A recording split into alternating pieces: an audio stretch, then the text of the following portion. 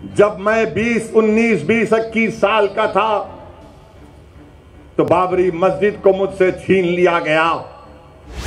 अब हम वही 19, 20 साल के बच्चों की की आँखों के सामने दोबारा मस्जिद को नहीं खोएँगे इंशाअल्लाह ताला।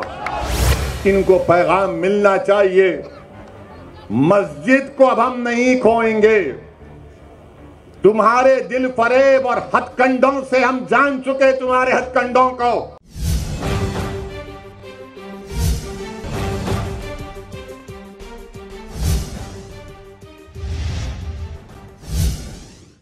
नमस्कार दोस्तों, मैं हूँ आपके साथ साक्षी और आप देख रहे हैं नेक्स्ट नाइन लाइफ आज फिर जिस तरह से नया फैसला ज्ञान वापी मस्जिद को लेकर आया है, वो मुद्दा फिर से खड़ा हो गया है, उसको लेकर हम बात करेंगे। जी हाँ कई दिनों से ज्ञान वापी मस्जिद को लेकर सर्वे चल रहा है और हर किसी को इंतज़ार है कि सर्वे के बाद जो सबूत निकले हैं, जहाँ शिवलिंग को लेकर एक मुद्दा फिर से चर्चा में आ रहा है तो उस पर क्या फैसला कोर्ट लेने वाला है? हालाँकि अभी टीम ने थोड़ा समय और मांगा है सर्वे को लेकर और समय के बाद जब फैसला होगा तो किस तरह से क्या ये हिंसा की जड़ तो नहीं बन जाएगा या फिर फैसला कोर्ट का क्या होगा, इसका हर किसी को इंतज़ार है। अब हम बात करेंगे ओवैसी की, जब से ओवैसी ने लगातार कई दिनों से अपने नए नए बयान को लेकर लगातार वो चर्चा में बने हुए हैं। ज्ञान ज्ञानवापी मस्जिद को लेकर लगातार भड़काऊ बयान वो दे रहे हैं। कल भी हमने प्रोग्राम सेशंस को लेकर बात की थी, जहाँ ओवैसी के कई भड़काऊ जो है, बयान आए थे। अब फिर से एक बयान आया, जिसमें वो मोदी योगी को लेकर बोलते हैं कि, मैं भगवान, मैं अल्लाह से डरता हूँ, मोदी योगी से नहीं। तो इस पर हम बात करेंगे कि किस तरह से प्रधानमंत्री हो या किसी राज्य का मुख्यमंत्री हो उसको लेकर वो इतनी बड़ी बात बोलते हैं कि वो उनसे डरते नहीं है और उनके खिलाफ कुछ भी बोल सकते हैं। इस मुद्दे पर मैं बड़ी बात जानना चाहूँगी जिसके लिए मौजूद है हमारी सहयोगी मेघा हमारे साथ। आपका बहुत बहुत स्वागत है हमारे प्रोग्राम सेशन में। तो मेगा, मेरा सबसे पहला सवाल, जैसे कि हमने बताया कि A I M I M के चीफ ओवेसी किस तरह का बयान, भड़काऊ बयान कई दिनों से देते आ रहे हैं ज्ञान वापी मस्जिद को लेकर। अब फिर उन्होंने मोदी योगी को लेकर बयान दिया। कभी मौका नहीं छोड़ते उन पर तंज कसने को लेकर। अब फिर जिस तरह का बयान आया कि अल्लाह से नहीं डरता माफ़ कीजिएगा अल्लाह से डरता हूँ उन मोदी या योगी से नहीं डरता क्या वो चीज़ है इस तरह की उन्होंने बात की? क्या सही है किसी के लिए इस तरह का बयान देना?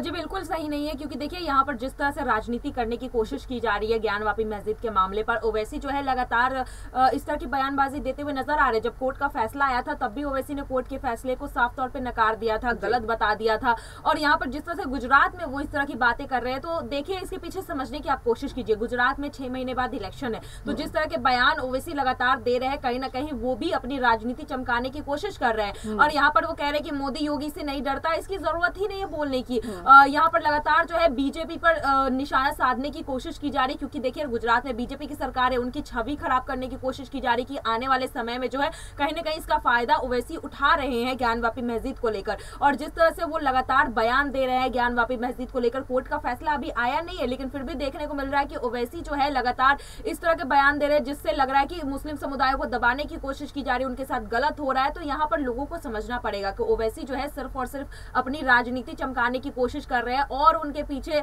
बयान के पीछे ना और कोई मकसद नहीं है। जी, बिल्कुल, बयान के पीछे और कोई मकसद नहीं है, इससे साफ़ तौर पर दिखाई देता है क्योंकि कई बार ओबीसी के इस तरह के बयान आ जाते हैं, जो कि सिर्फ़ ये चीज़ दिखाते हैं कि आप सिर्फ़ रणनीति खेलने की कोशिश कर रहे हैं, कोई ऐसी राजनीति में एक रणनीति बना रहे हैं, या तो मुस्लिम समुदाय को भड़काने की कोशिश कर रहे हैं, लेकिन आप आप ये जताते हैं कि हम सिर्फ़ अपने समुदाय की तरफ़ से एक ऐसे मसीहा है जो उनके शब्द को अपनी तरफ़ से ज़ाहिर कर देते हैं दूसरे यानी विपक्ष की ओर।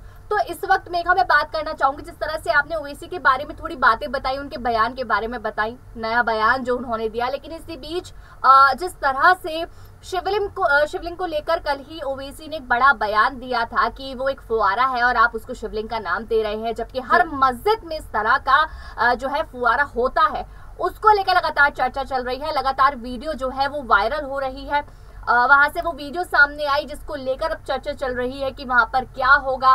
तो उसको लेकर आप क्या कहना चाहेंगी जिस तरह से उस मामले पर अभी से विवाद चल पड़ा है? जी बिल्कुल देखिए एक तरफ़ जहाँ मस्जिद में हिंदू पक्ष के लोग दावा कर रहे हैं कि वहाँ पर सिवलिंग है और उस एरिया को सील करने की मांग की, आ, की गई थी जो कोर्ट ने सुन भी ली और पूरे एरिया को सील कर दिया गया है। वही मुस्लिम पक्ष के लोग कर रहे हैं वो तो सिवलिंग है सिवलिंग नहीं है वो तो फाउंटेन का हिस्सा है जो दस साल पहला पुराना है टूट चुका है। हम्म। और उनकी तरफ़ से कहना है कि सिवलिंग में छेद नहीं होता है। यहाँ पर बाकायदा जब सर्वे की टीम पहुँची थी तो उन्होंने वो जो सिवलिंग जिन्हें बताया जा रहा है उसके अंदर उन्होंने लकड़ी डाल के चेक किया था। तो यहाँ पर मुस्लिम पक्ष के लोग यही दावा कर रहे हैं कि वो फुवारे का हिस्सा है वो सिवलिंग नहीं अगर सिवलिंग होता तो उसमें छेद नहीं होता। यहाँ पर उसमें छेद है जो कि फुवारे में होता है। तो दावा दोनों तरफ़ से चल रहा है लेकिन कोर्ट जिस तरह से सर्वे की रिपोर्ट कोर्ट ने मांगी है अब कोर्ट के जो है सर्वे की रिपोर्ट देखेगी उसके बाद क्या फैसला होगा। उसके बाद ये चीज़ें साफ़ हो जाएँगी कि अब वो फुवारा है या फिर सच में सिवलिंग का वहाँ पर हिस्सा पाया गया है। लेकिन यहाँ पर जिस तरह से ओवैसी बयान दे रहे हैं अभी इस बयानबाजी की कोई ज़रूरत नहीं है, कोर्ट का फैसला आएगा, सब चीज़ें खुद ही साफ़ हो जाएँगी।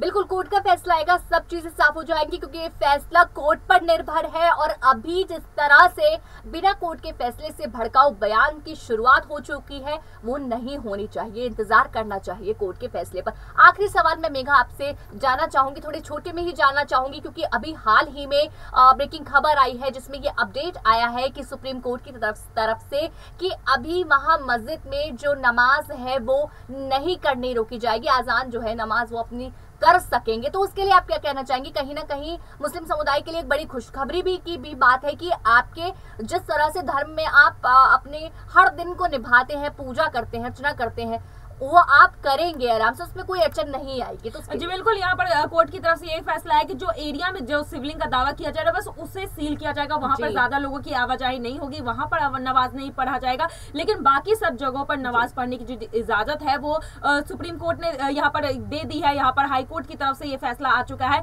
और सर्वे की रिपोर्ट के लिए भी यहाँ पर हाईकोर्ट का फैसला आया है कि दो दिन बाद फिर से जो है सर्वे रिपोर्ट सबमिट की जाए। दो दिन की मोहलत दे दी गई है और एक बड़ी अपडेट भी है साक्षी इस पर की अजय मिश्रा जो कोर्ट कमिश्नर थे उन्हें कोर्ट ने हटा दिया। उसमें अच्छा, पहले से पक्षपात चल रहा था।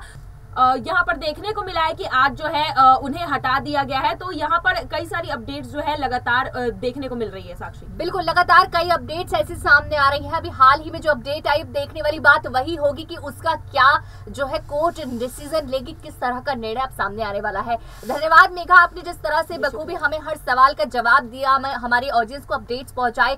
अभी आप ये वीडियो देखिए जिससे आपको और चीज़ें जो है वो क्लियर हो जाएँगी कि आखिर ओवैसी किस तरह का बयान देते हैं किस तरह की बात ज्ञानवापी मस्जिद को लेकर बोलते हैं तो आप देखिए ये वीडियो। मैं बीस, उन्नीस, बीस, इक्कीस साल का था तो बाबरी मस्जिद को मुझसे छीन लिया गया। अब हम वही उन्नीस, बीस साल के बच्चों की की आँखों के सामने दोबारा मस्जिद को नहीं खोएँगे इंशाला क्या आप तमाम लोग अहद लेते हैं कि हम कोई मस्जिद को नहीं खोएँगे? क्या आप अहद लेते हैं कि अब हम कोई मस्जिद को नहीं खोएँगे? तो अगर अहद लेते हैं तो हाथ उठा कर कहिए, नारे तकबीर। नारे तकबीर। इनको पैगाम मिलना चाहिए। मस्जिद को अब हम नहीं खोएँगे। तुम्हारे दिल फरेब और हथकंडों से हम जान चुके तुम्हारे हथकंडों को। और अल्लाह के रसूल सल्लल्लाहु अलैहि वसल्लम का दी शरीफ है कि मोमिन वो है जो दो बार एक सुराख से नहीं डसा जाता। अब हम दोबारा नहीं इनको डसने देंगे। मस्जिद है और रहेगी इंशाला ताला सुबह कयामत तक। ज्ञानवापी मस्जिद मस्जिद थी और जब तक अल्लाह दुनिया को कायम रखेगा, मस्जिद रहेगी इंशाला ताला। और हमारा काम यह है कि हम अपने मस्जिदों को आबाद रखें।